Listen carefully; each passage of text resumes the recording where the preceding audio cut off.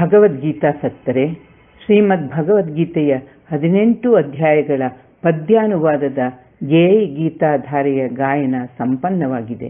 ಊಹಾತೀತವಾದ ಈ ಮಹತ್ ಕಾರ್ಯವನ್ನು ನನ್ನಿಂದ ಆಗ ಮಾಡಿಸಿದ ಆ ಭಗವತ್ ಕೃಪೆಗೆ ಧನ್ಯತಾಭಾವದಿಂದ ಅತ್ಯಂತ ವಿನೀತರಾಗಿ ಸಾಷ್ಟಾಂಗ ನಮನ ಸಲ್ಲಿಸಿದೆ ನನ್ನ ತಮ್ಮ ಶ್ರೀ ಎಸ್ ಎಂ ವಿಶ್ವನಾಥನ ಒತ್ತಾಯಪೂರ್ವಕ ಆಗ್ರಹವೇ ಈ ಅನುವಾದ ಕೈಗೆತ್ತಿಕೊಳ್ಳಲು ಕಾರಣವಾಗಿ ಇದರ ಶ್ರೇಯಸ್ಸಿನಲ್ಲಿ ವಿಶ್ವನಾಥನ ಪಾಲು ಇದೆ. ಶ್ರೀಮದ್ ಭಗವದ್ಗೀತೆಯ ಈ ಪದ್ಯಾನುವಾದ ಪರಿಪೂರ್ಣವಲ್ಲವೆಂಬ ಅರಿವು ನನಗಿದೆ. ಇದರಲ್ಲಿರುವ ಕೊರತೆಗಳು ನನ್ನ ಸಾಮರ್ಥ್ಯದ ಮಿತಿಯಿಂದಾದುದು.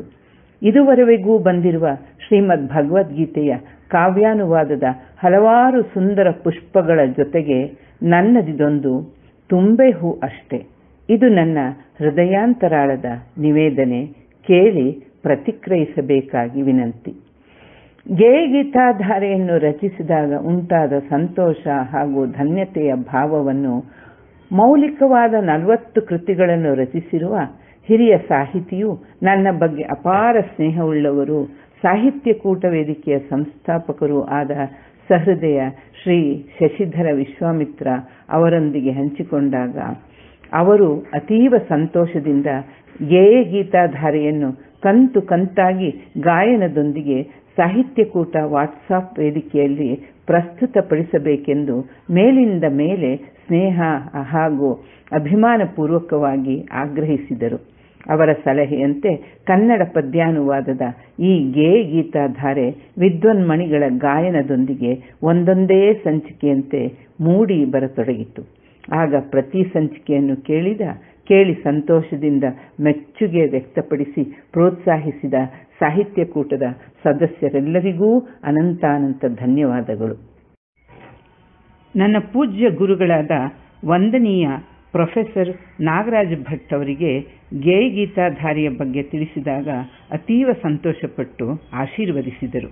ಅರ್ಪಣೆ ಮತ್ತು ನಿವೇದನಾ ರೂಪದಲ್ಲಿ ಕೆಲವು ಪದ್ಯಗಳನ್ನು ರಚಿಸಿ ಈ ಅಭಿಯಾನಕ್ಕೆ ಮಂಗಲ ಹಾಡಬೇಕೆಂಬ ಸಲಹೆ ಕೊಟ್ಟರು. ಅವರ ಆದೇಶದಂತೆ ಮೂಡಿಬಂದಿರುವುದೇ ನಿವೇದನೆಯ ಹನ್ನೆರಡು ಪದ್ಯಗಳು. ನನ್ನ ಸಾಹಿತ್ಯ ಯಾನದಲ್ಲಿ ಅವರ ಮೆಚ್ಚುಗೆ ಮತ್ತು ಪ್ರೋತ್ಸಾಹ ಬಹಳ ಹಿರಿದಾದುದು. ಅವರಿಗೆ ನನ್ನ ವಿನೀತ ನಮನಗಳು ಇನ್ನು ನಿವೇದನಾ ಪದ್ಯಗಳನ್ನು ಸಹ ವಿದುಷಿ ಡಾಕ್ಟರ್ ಮಂಜುಳಾ ಮರಾಠೆ ಬಹಳ ಮಾಧುರ್ಯ ಹಾಗೂ ಭಾವಪೂರ್ಣವಾಗಿ ಹಾಡಿದ್ದಾರೆ. ಅವರಿಗೆ ನಾನು ಆಭಾರಿ. ಗೇಯ ಗೀತಾಧಾರಿಯ ಬಗ್ಗೆ ಆಕರ್ಷಿತರಾದ ಮಾನ್ಯ ಶ್ರೀ ಗುರುಪ್ರಸಾದ್ ಹಾಲ್ಕುರಿಕಿಯವರು ಗೇಯ ಗೀತಾಧಾರೆಯ ಪ್ರಸಾರಕ್ಕಾಗಿಯೇ ಗೇಯ ಗೀತಾಧಾರೆ ಎಂಬ ಒಂದು ವಾಟ್ಸಾಪ್ ತಂಡವನ್ನು ಹುಟ್ಟುಹಾಕಿ ಸದಸ್ಯರನ್ನು ಸೇರಿಸಿದ್ದಲ್ಲದೆ ಈ ಪದ್ಯಾನುವಾದದ ಸಂಪೂರ್ಣ ಗಾಯನದ ವಿಡಿಯೋವನ್ನು ಅನನ್ಯವಾದ ಶ್ರದ್ಧೆ, ಆಸಕ್ತಿ, ಅಪಾರವಾದ ಶ್ರಮ, ಬದ್ಧತೆ ಮತ್ತು ಭಗವತ್ ಕೈಂಕರ್ಯವೆಂಬ ಸಮರ್ಪಣಾ ಭಾವದಿಂದ ಸುಂದರವಾಗಿ ರೂಪಿಸತೊಡಗುತ್ತಾ ಅದೀಗ ಈ ರೂಪದಲ್ಲಿ ಗೀತಾಸಕ್ತರಿಗೆ ಎಂದೆಂದಿಗೂ ಲಭ್ಯವಾಗುವಂತೆ ಮಾಡಿದ್ದಾರೆ.